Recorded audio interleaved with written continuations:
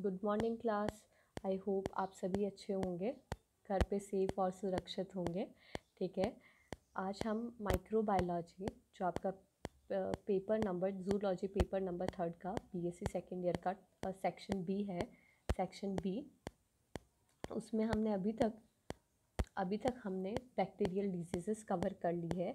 आज हम further structural organisation की ओर मूव ऑन करेंगे, ठीक है? प्रोकैरियोटिक स्ट्रक्चरल ऑर्गेनाइजेशन की ओर। तो आप देखिएगा, यहाँ पे आज मैंने एक स्ट्रक्चर प्रोकैरियोटिक सेल का स्ट्रक्चर बना रखा है, ठीक है? प्रोकैरियोटिक सेल का या बैक्टीरिया का स्ट्रक्चर बना रखा है। आप देखिएगा, यहाँ पे जो बाहर की जो लेयर है बाहर की जो लेयर है, जो आपको रेड से दिख रही है, वो क्या है? कैप्सूल रीज़न है, ठीक है? कैप्सूल रीज़न है।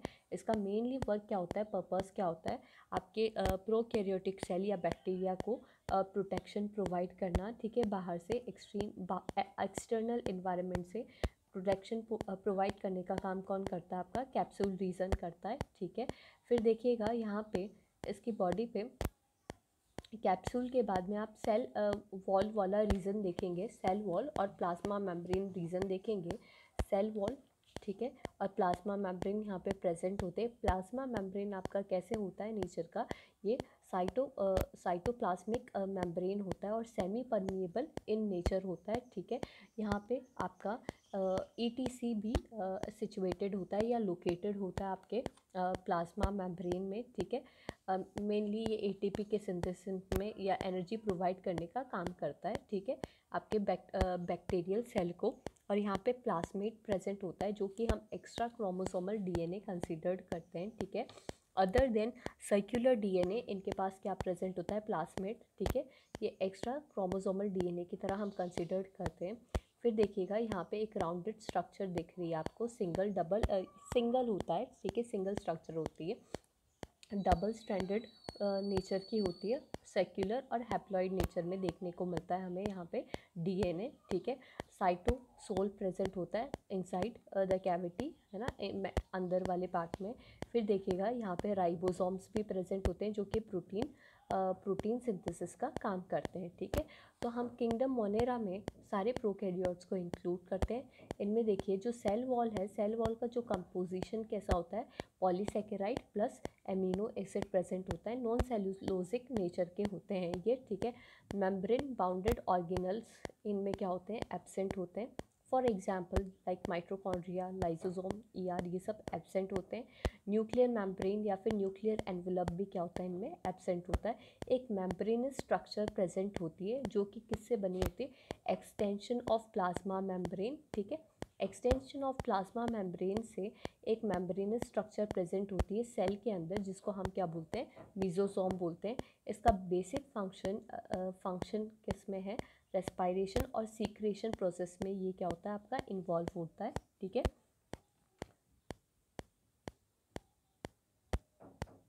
प्रोसेस में इन्वॉल्व होता है।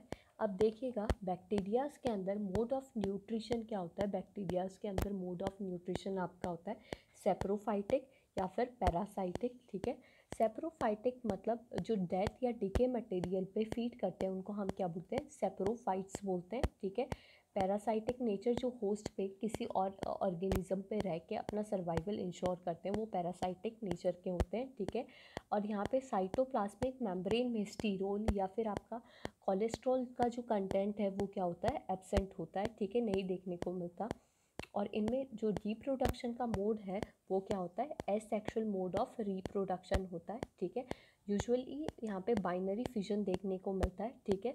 और ये प्रोसेस कैसा होता है? माइटोसिस होता है, जिसकी वजह से क्या होता है? पेरेंट के आइडेंटिकल क्या होते हैं? प्रोजेनी प्रोड्यूस होते हैं, या फिर हम ये कह सकते हैं पेरेंट के प्रोजेनी क्या होती है? पेरेंट के क्लोन्स होती हैं, ठीक है? थीके? तो अभी तक हमने यहाँ पे ये डिस्कस किया है। अब हम मूवमेंट की बात करेंगे तो आपके प्रोकैरियोट्स में जो मूवमेंट है, वो कौन इंश्योर करता है? फ्लैजिला इंश्योर करता है। तो देखिएगा। मूवमेंट के लिए फ्लैजिला प्रेजेंट होता है यहाँ पे।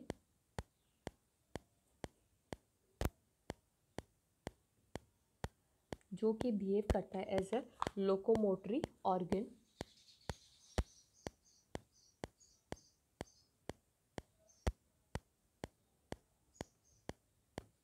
organ और आप देखेंगे इनकी बॉडी पे जो फ्लैजिला है, वो डिफरेंट नंबर में और डिफरेंट लोकेशन में प्रेजेंट होने की वजह से हम इनको डिफरेंट नेम्स देते हैं, ठीक है?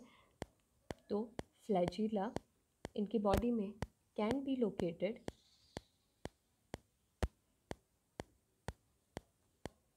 can be located on different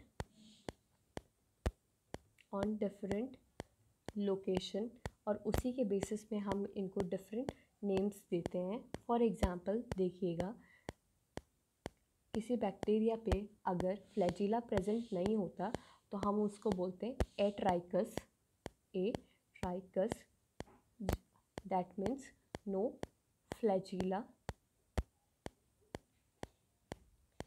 when flagella present एक ही नंबर पे अगर फ्लैजिला प्रेजेंट होता है तो हम उसको क्या बोलते हैं? Monotrichous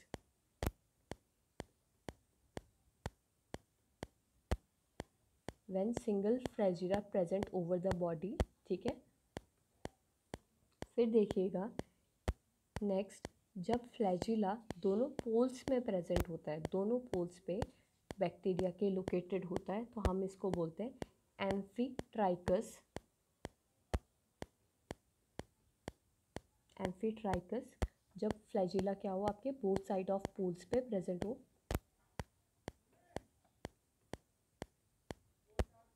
ठीक है, फिर देखिएगा। अगर एक ही पोल पे मल्टीपल फ्लैजिला अगर प्रेजेंट होते हैं तो हम उसको बोलते हैं लोफोट्राइकस क्या बोलेंगे? Lophotrichous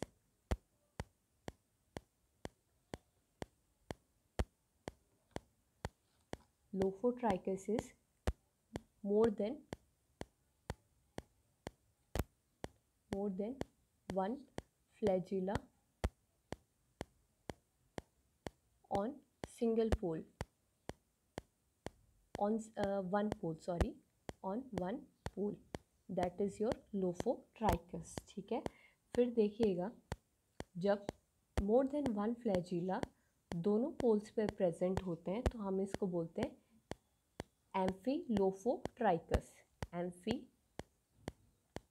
lophotrichous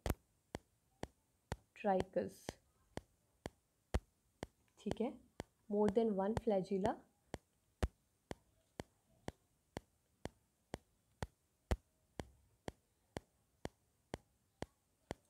on both poles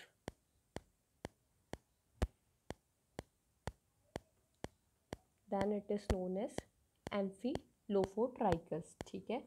फिर एक होता है आपका पेरीट्राइकस जिसमें क्या होता है कि flagella over the periphery of the body her side में प्रेजेंट होता है तो हम उसको बोलते हैं आपका पेरी ट्राइकस ट्राइकस और we can say more than one flagella present all over the body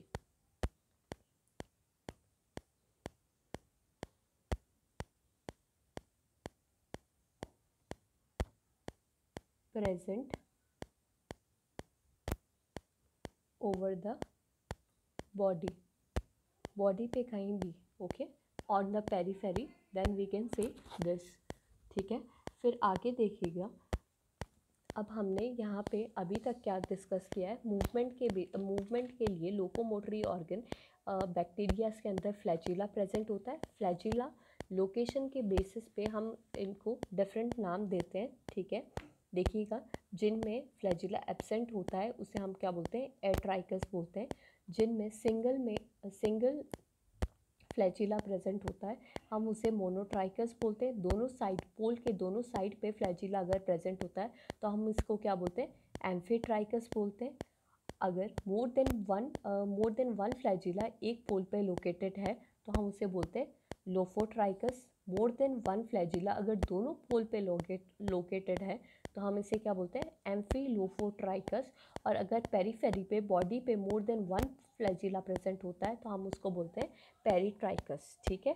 ये हम फ्लैजिला के बेसिस पे हम इनका नाम दे रहे हैं। ठीक है?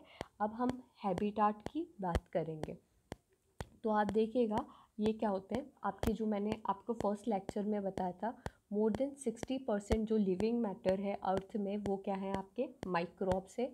तो हैबिटाट, इससे हमें पता चलता है कि ऑल ओवर द अर्थ ये प्रेजेंट होते हैं, ठीक है? तो ये आपको एयर में भी देखने को मिलेंगे वाटर में भी देखने को मिलेंगे सॉइल में भी देखने को मिलेंगे। इवन एक्सट्रीम कंडीशंस में भी, है ना? हार्श हैबिटाट्स में भी आपको देखने को मिल सकते हैं। फॉर एग्जांपल जैसे डेजर्ट हुआ हॉट स्प्रिंग रीजन हुआ, ठीक है? स्नो वाला एरिया हुआ स्नो स्नो रीजन में देखने को मिल सकते हैं या फिर हाई सॉल्ट कंसनट्रेशन में भी आपको ये देखने को मिलते हैं। हाई सॉल्ट कंडीशन हो जहाँ पे भी आपको देखने को मिल सकते हैं या फिर डीप ओशन में भी आपको ये देखने को मिल सकते हैं, ठीक है? तो हैबिटाट आप देखिएगा एयर वाटर बेसिकली अगर हम ओवरऑल सम अप करके बात करें तो ये हर जगह प्रेजेंट होते हैं आपके, हर रीजन में प्रेजेंट होते हैं। एक्सट्रीम कंडीशंस में भी ये आपको देखने को मिलते हैं, ठीक है? Air water soil desert hot spring snow या हायर सॉल्ट कंसनट्रेशन एरिया या डीप ओशन में आपको देखने को मिलते हैं। अब देखिए मॉर्फोलॉजिकली अगर हम देखें तो बैक्टीरिया का जो स्ट्रक्चर है स्ट्रक्चर की बात कर रही थे हम ठीक है? तो हमने देखा स्ट्रक्चर में मेम्ब्रेन बाउंड ऑर्गेनल्स प्रेजेंट नहीं होते सिर्फ़ आपके आ, आ, आ, क्या बोलते हैं मीजोजोमल मीजोजोम प्रेजेंट होता है ठीक है? जो कि एक्सटेंडेड एक्सटेंडेड पार्ट होता है आपका प्लाज्मा मेम्ब्रेन का, ठीक है? अब हम यहाँ पे बात करेंगे बैक्टीरिया की शेप के बारे में। तो शेप के बेसिस पे भी हमने बैक्टीरिया को डिवाइड कर रखा है, ठीक है? देखिएगा, चार टाइप के होते हैं शेप या स्ट्रक्चर पहला है आपका कोकाई जो कि कैसे नेचर का होता है? स्पेरिकल शेप नेचर का होता है, ठीक है? Spherical shape you can say circular पूरा सर्क्यूलर नहीं होता, ठीक है? इट इज़ समवॉट स्पेरिकल ठीक है? स्पेरिकल तो होता है। एक होता है आपका बेसिली फॉर्म बेसिली फॉर्म या शेप जो कि कैसा होता है? Rod shape rod shape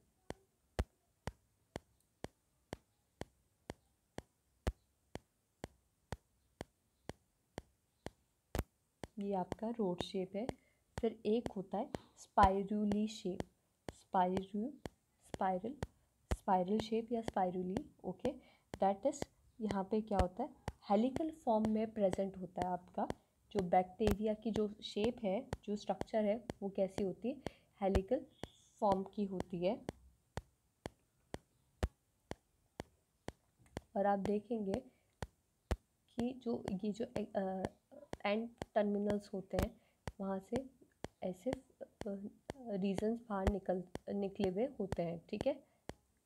basically ये आपका स्पाइरल शेप है, फिर लास्ट आता है आपका vibrio that is comma shaped ठीक है? कोमा शेप देखने को मिलता है, ठीक है? अब देखिएगा, हम बैक्टीरिया की क्लासिफिकेशन करेंगे बैक्टीरियल क्लासिफिकेशन करेंगे बेस्ड ऑन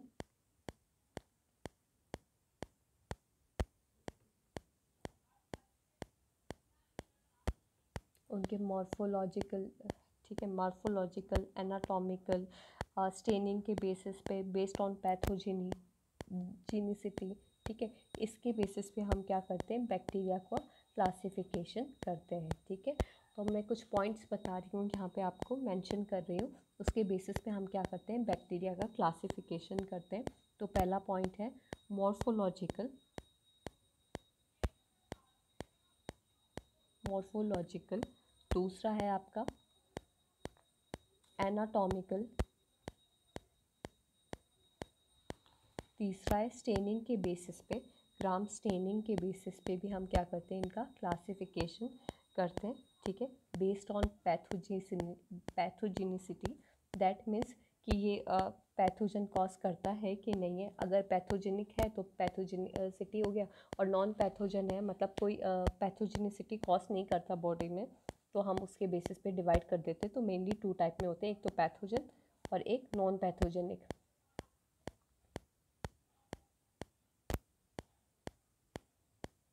ठीक है?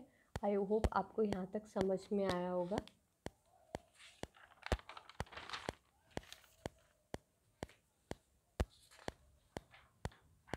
तो अब यहाँ पे हम बात करेंगे नेक्स्ट बेस्ड ऑन रिलेशनशिप कैसा रिलेशनशिप है इनका होस्ट के साथ उसके बेसिस पे भी हम क्या कर सकते हैं इसको uh, बता सकते हैं।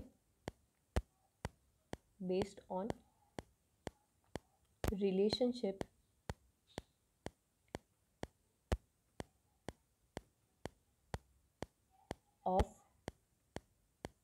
host organism और इन्वायरमेंटल फैक्टर के बेसिस पे भी हम बैक्टीरिया को क्लासिफाई करते हैं, ठीक है?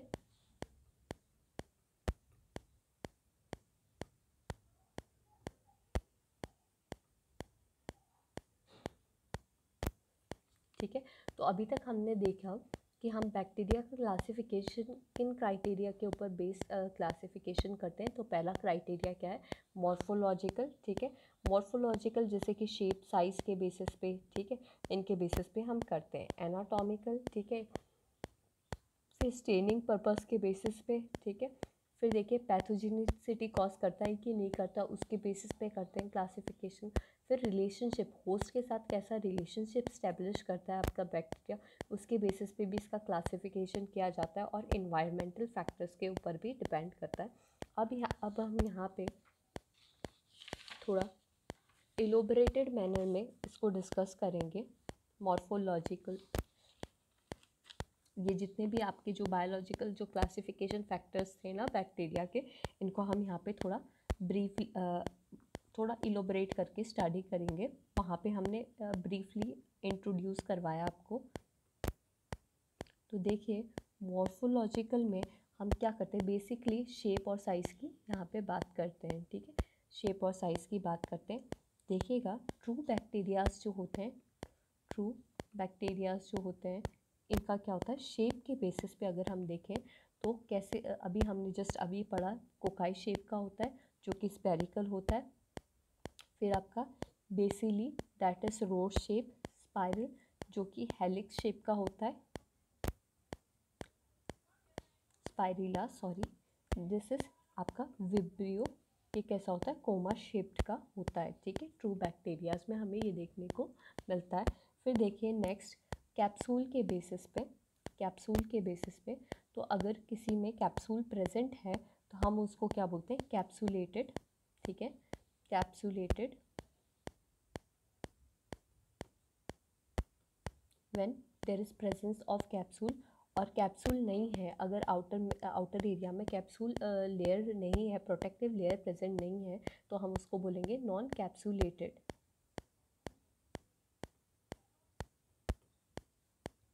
that means absence absence okay अब देखिए बेस्ड ऑन स्टेनिंग की अगर हम बात करते हैं बेस्ड ऑन स्टेनिंग स्टेनिंग के बेसिस पे बात करते हैं तो देखिए, एक तो होते हैं आपकी ग्राम स्टेनिंग ठीक है? ग्राम स्टेनिंग जिसमें क्या होता है कि हम ग्राम स्टेनिंग देखते हैं पेप्टिडोग्लाइकेन की लेयर की थिकनेस के ऊपर ये डिपेंड करता है, ठीक है? ग्राम स्टेनिंग करते हैं, अगर जिसमें स्टेन हो जाता है वो पॉजिटिव होता है, ठीक है, जिसमें पेप्टिडोग्लाइकेन की लेयर क्या होती है, बड़ी होती है, वो स्टेन प्रसिस्ट कर लेता है, और जिसमें एबसेंट होती है एबसेंट होती है, उसमें क्या होती है, जो आपकी पेप्टिडोग्लाइकेन की जो लेयर है, वो क्या होती है, छोटी होती है, ठीक है।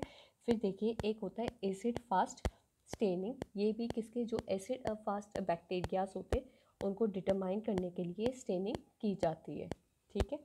फिर देखिएगा हमने अभी जैसे स्टार्ट स्टडी किया था फ्लैजिला के basis on the basis of flagella flagella हमने डिवाइड uh, कर रखा है मोनोट्राइकस जो कि अभी हमने पढ़ा मोनोट्राइकस में क्या होता है? सिंगल फ्लैजिला प्रेजेंट होता है। Amphitrichous that means more than one flagella isn't it? More than one flagella is what? Your amphitrachus more more than one flagella on both the side. That is your amphitrichus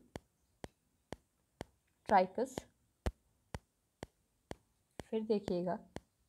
फिर lophotrichous what is lophotrichous can you recall it more than one flagella on one pole that is your lophotrichous then next is peri peritrichous what was that that peritrichous आपका क्या था? जब periphery पे पूरे reason पे क्या है, flagella present हो बैक्टीरिया के तो हम इसको क्या बोलते हैं? पेरी ट्राइकस बोलते हैं, ठीक है? फिर देखिएगा based on pathogenicity based on pathogenicity, that is, देखिए जो पैथोजन या लिथिलिटी कॉज करते हैं, उनको हम क्या बोलते हैं? पैथोजेनिक बोलते हैं नेचर में, ठीक है? और जो लिथिलिटी या पैथोजेनिसिटी कॉज नहीं करते, ठीक है? दैट आर नॉन पैथोजेनिक ठीक है? तो दो पैथोजेनिसिटी के बेसिस पे पैथोजेनिक एंड नॉन पैथोजेनिक हमने क्लासीफाई कर दिया इनको। जेनिक अब देखिएगा। और तीसरा फॉर्म होता है यहाँ पे commensal commensal that is bacteria आपका नॉन पैथोजेनिक होता है, लेकिन एक्ट कर सकता है एज अ पैथोजन ठीक है? That is which are non pathogenic but can act as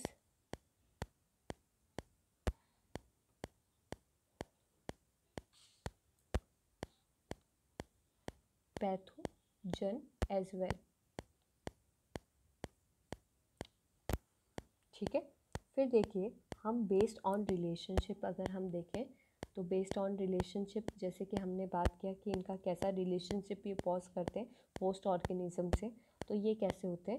saprophytic होते हैं नेचर में या मोड ऑफ़ हम मोड ऑफ़ इनका न्यूट्रिशन के बेसिस पे भी बोल सकते हैं, इनका रिलेशनशिप स्टेब्लिश किया जाता है। ठीक है? तो देखिएगा ये कैसे होते हैं। सेप्रोफाइटिक होते हैं, एक तो जो कि डेड या डिकेड मटेरियल पे क्या करते हैं सर्वाइव करते हैं, ठीक है? और एक कैसा होता है पैरासाइटिक नेचर का इनका बिहेवियर शो करता है ये, ठीक है? या रिलेशनशिप शो करते हैं। फिर देखिएगा डिफरेंट इन्वायरमेंटल फैक्टर्स भी यहाँ पे क्या होते हैं, आपके इन्वॉल्व होते हैं।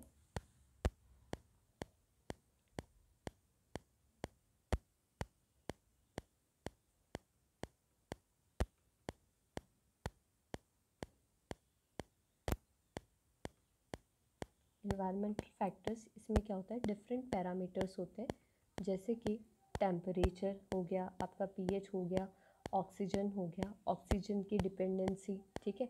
ये सब आपका किसमें आता है? डिफरेंट इन्वायरमेंटल पैरामीटर्स में आता है, ठीक है? For example temperature then pH then oxygen dependency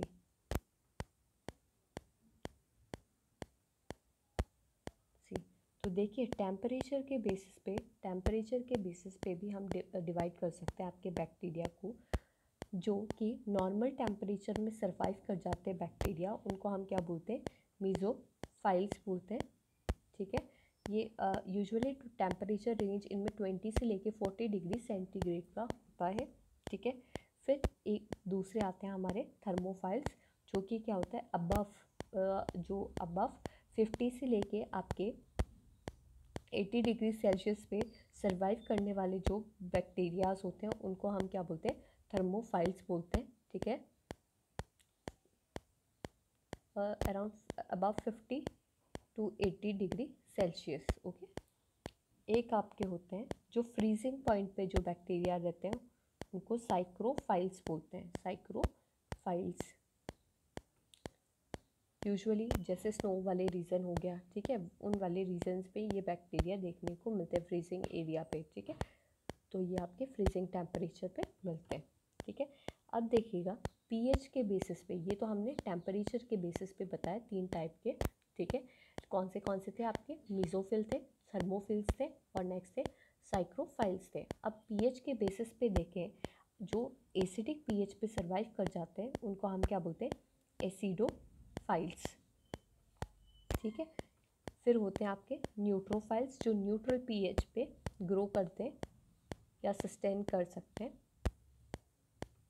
फिर एक होता है आपका बेसोफाइल्स जो कि एल्कलाइन पीएच पे काम कर सकते हैं या एक्टिव रहते हैं या ग्रोथ शो करते हैं। ठीक है? तो ये आपके बेसोफाइल्स हो गए। ये किसमें करते हैं? एल्कलाइन पीएच में देखने को हमें मिलता है। ठीक है?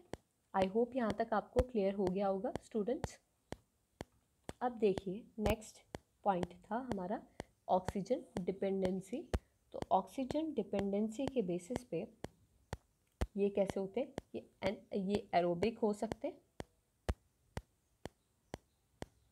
एरोबिक हो सकते एरोबिक दैट मीन्स जो कि, और जहाँ पे ऑक्सीजन के प्रेजेंस में रेस्पायरेशन शो करते हैं, ठीक है? अपना एक्टिव रहते हैं, ठीक है? एक होते हैं ऑब्लिगेटिव एंड एरोब्स जो कि क्या होते हैं? जिनको ऑक्सीजन की रिक्वायरमेंट नहीं होती, ठीक है? ये आपके कौन से होते हैं? ऑब्लिगेटेड एंड एरोबिक इनको क्या है? ओटो रिक्वायर्ड नहीं होता। फिर दूसरे होते हैं आपके माइक्रो एरोफिल्स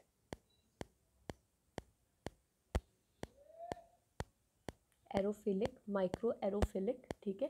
इनमें क्या होता है? इनमें ये लो आ, लो ओ टू में भी, भी क्या कर सकते हैं? ग्रो कर सकते हैं ठीक है? इनको माइक्रो एरोफिल्स बोलते हैं ठीक है? अब अदर कुछ और हम देखेंगे।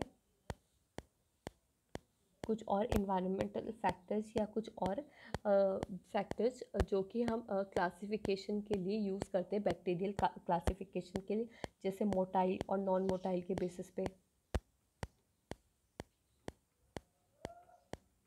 मोटाइल के बेसिस पे ठीक है? हम इनका डिवीज़न करते हैं क्लासिफिकेशन करते हैं या फिर सेंसिटिविटी के बेसिस पे कि ये आ, कोई ड्रग या डोज के साथ कैसा आ, कैसा बिहेवियर शो करते हैं या सेंसिटिविटी शो करते हैं ठीक है? इसके बेसिस पे या फिर कोई भी केमिकल एजेंट्स के साथ ठीक है?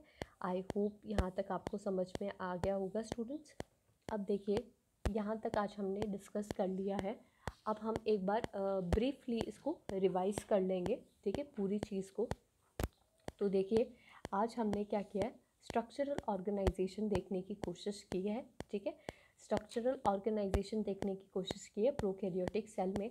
तो हमने यहाँ पे स्ट्रक्चर देखा बैक्टीरिया का। इसमें क्या होता है कि बैक्टीरिया की स्ट्रक्चर बैक्टीरिया के स्ट्रक्चर में कैप्सूल प्रेजेंट होता है, जो कि आउटर कवरिंग होती है, ठीक है? सेल वॉल प्रेजेंट होता है सेल वॉल्स की प्रेजेंट होती है, ठीक है? सेल वॉल प्रेजेंट होता है। और यहाँ पे प्लाज्मा मेम्ब्रेन भी प्रेजेंट होता है। ठीक है, प्लाज्मा मेम्ब्रेन प्रेजेंट होता है, जिसको हम साइटोप्लाज्मिक मेम्ब्रेन बोलते हैं। ये सेमी परमिएबल नेचर का होता है, ठीक है। इस पर क्या होता है, आपका ईटीसी लोकेटेड होता है, ठीक है। इलेक्ट्रॉन ट्रांसपोर्ट चेन लोकेटेड होता है, ठीक है। इसकी वजह से एनर्जी का जो सोर्स है इसको यहाँ से एनर्जी प्रोवाइड करता है ठीक है। एनर्जी का सोर्स है बेसिकली फिर देखिएगा प्लास्मेट प्लास्मेट प्रेजेंट होता है, जो कि एक्स्ट्रा क्रोमोसोमल डीएनए है और यहाँ पे एक single double standard DNA present होता है, जो कि कैसा होता है सर्कुलर होता है और हैप्लॉइड नेचर का होता है, ठीक है। राइबोसोम्स यहाँ पे प्रेजेंट होते हैं यहाँ पे अंदर जो कि प्रोटीन सिंथेसिस में काम आता है साइटोसोल यहाँ पे प्रेजेंट होता है ठीक है? और एक आपका कौन सा मेम्ब्रेनस स्ट्रक्चर प्रेजेंट होता है यहाँ पे ये लिख लीजिएगा मेम्ब्रेनस स्ट्रक्चर प्रेजेंट होता है जिसको हम क्या बोलते हैं? आपका मीजोजोम्स भी uh, अंदर लोकेटेड होता है। ठीक है? ये सेल स्ट्रक्चर है और यहाँ पे ये पिलाई लाइक स्ट्रक्चर प्रेजेंट होता है, ठीक है? पिलाई स्ट्रक्चर प्रेजेंट होता है सरफेस पे कुछ बैक्टीरियाज के, ठीक है? फिर देखिएगा यहाँ पे मेम्ब्रेन बाउंडेड ऑर्गेनल्स क्या होते हैं? एबसेंट होते हैं। सेल वॉल का कंपोजिशन कैसा होता है? Polysaccharide plus amino acids present होते हैं, ठीक है? नॉन सेलुलोजिक होती है सेल वॉल फिर मेम्ब्रेनस स्ट्रक्चर प्रेजेंट है, जो कि हमने यहाँ पे ऊपर बताया आपको कि मीजोजोम मीजोजोम है, जो कि एक्सटेंशन होता है आपका किसका? प्लाज्मा मेम्ब्रेन के एक्सटेंशन को, जो इनसाइड द सेल होता है, उसको हम क्या बोलते हैं? मीजोजोम बोलते हैं, ठीक है? ये रेस्पायरेशन और सीक्रेशन प्रोसेस में इन्वॉल्व होता है, ठीक है? फिर देखिएगा mode of mode of nutrition in bacteria कैसा होता है? सेप्रोफाइटिक या फिर पैरासाइटिक नेचर का होता है, ठीक है?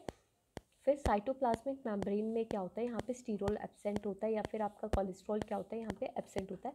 रिप्रोडक्शन का मोड क्या होता है? एसेक्सुअल होता है और बाइनरी फिजन देखने को मिलता है। मतलब यहाँ पे माइटोसिस प्रोसेस इन्वॉल्व होता है, जिसकी वजह से क्या होता है? आपकी प्रोजीनी क्या होती है? क्लोन होती है पेरेंट के। ठीक है? फिर देखिएगा फिर देखिएगा, हम मूवमेंट के बारे में डिस्कस करेंगे। मूवमेंट तो मूवमेंट के लिए यहाँ पे क्या प्रेजेंट होता है? फ्लैजिला जो कि लोकोमोटरी ऑर्गन है यहाँ पे, ठीक है? फ्लैजिला के फ्लैजिला लोकेटेड हो सकता है डिफरेंट पार्ट्स पे या लोकेशन पे। उसके बेसिस पे हमने डिफरेंट नेम्स दे रखे हैं, ठीक है? क्लासिफिकेशन कर रखा है इसका। अगर फ्लैजिला एबसेंट होता है तो हम इसको बोलते हैं एट्राइकस अगर सिंगल फ्लैजिला प्रेजेंट है तो हम उसको बोलते हैं मोनोट्राइकस अगर फ्लैजिला दोनों पोल्स पर प्रेजेंट होता है। बैक्टीरिया के दोनों पोल्स पे अगर फ्लैजिला प्रेजेंट है तो हम इसको क्या बोलते हैं? एम्फीट्राइकस बोलते हैं, ठीक है? अगर फ्लैजिला फ्लैजिला एक ही पोल पे प्रेजेंट है आपके, ठीक है? More than one flagella present होता है।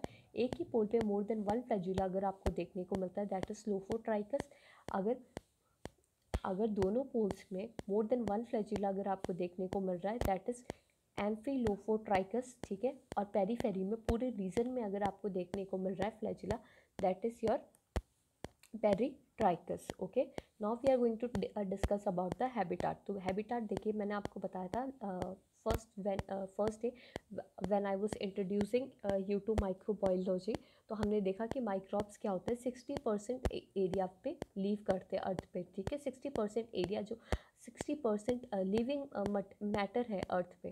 That is your that is your microbes ठीक है? तो हम देख सकते हैं कि ये कॉस्मोपॉलिटिशियंस होते हैं ठीक है? uh, मतलब हर सरफेस पे प्रेजेंट uh, हर रीजन uh, में प्रेजेंट होते हैं अर्थ में ठीक है? तो ये एयर में भी मिल सकता है हमें वाटर पे सॉइल पे डेजर्ट पे हॉट स्प्रिंग या एक्सट्रीम कंडीशंस में भी हमें देखने को मिल सकता है इनका प्रेजेंस फिर बैक्टीरिया की शेप की बेसिस पे हमने इनको चार चार चार टाइप्स बता रखी है। तो देखिएगा cocci that is spherical shape होता है बेसिलस आपका रोड शेप होता है spirilla that is your helical form helical shaped का होता है ठीक है और फिर आपका होता है vibrio that is comma shape ठीक है अब हम इनका बैक्टीरिया का क्लासिफिकेशन देखने वाले हैं यहाँ पे तो बैक्टीरिया का क्लासिफिकेशन किन आ, किन पैरामीटर्स पे बेस करता है तो पहला पैरामीटर है मॉर्फोलॉजिकल ठीक है फिर एनाटॉमिकल फिर स्टेनिंग पर्पस के बेसिस पे, फिर बेस्ड ऑन पैथोजेनिसिटी फिर इनका रिलेशनशिप होस्ट ऑर्गेनिज्म के साथ कैसा रिलेशनशिप ये इस्टेब्लिश करते हैं उसके बेसिस पे और कुछ इन्वायरमेंटल फैक्टर्स भी यहाँ पे इन्वॉल्व है। तो अब हम यहाँ पे देखिए फर्दर देखेंगे इनको थोड़ा इलोबरेटेड मैनर में, ये जो क्लासिफिकेशन के जो पैरामीटर्स थे इनको थोड़ा इलोबरेटेड मैनर में देखेंगे। तो पहला देखिएगा मॉर्फोलॉजिकल जो पैरामीटर था, हमने शेप और साइज़ के बेसिस में देखा, ठीक है? मॉर्फोलॉजी में हम क्या इंक्लूड करते हैं? शेप और साइज़ इंक्लूड करते हैं, ठीक है? तो शेप हमने अभी जस्ट देखा कि कोकाई बेसिलस स्पाइरिला और एक विब्रा विब्रियो शेप में देखने को मिल सकता है। कैप्सूल के बेसिस पे अगर कैप्सूल की प्रेजेंस है तो कैप्सूलेटेड होते हैं। अगर कैप्सूल की एब्सेंस है तो ये नॉन कैप्सुलेटेड होते हैं, ठीक है? कैप्सूल क्या है? ये आपका आउटर कवरिंग होती है, ठीक है? बैक्टीरिया की, जो कि क्या करती है? प्रोवाइड करती है प्रोटेक्शन ठीक है? फिर स्टेनिंग के बेसिस पे तो हमने इनको डिवाइड कर रखा है। जो ग्राम स्टेनिंग शो करते हैं एसिड फास्ट स्टेनिंग के बेसिस पे, ठीक है? ये दो स्टेनिंग के बेसिस पे कर रखा है हमने। डिवीज़न यहाँ पे फिर देखिएगा फर्दर फ्लैचिरा के बेसिस पे हमने अभी देखा जैसे मोनोट्राइकस एम्फीट्राइकस लोफोट्राइकस और पेरीट्राइकस के बेसिस पे। फिर देखिए पैथोजेनिसिटी के बेसिस पे जो पैथोजन कॉज करते हैं, उनको पैथोजेनिक नेचर के बताया गया है और जो no pathogenic cause pathogen cause नहीं कर सकते या पैथोजेनिसिटी कॉज नहीं करते, उनको हम क्या बोलते हैं? नॉन पैथोजेनिक बोलते हैं, ठीक है?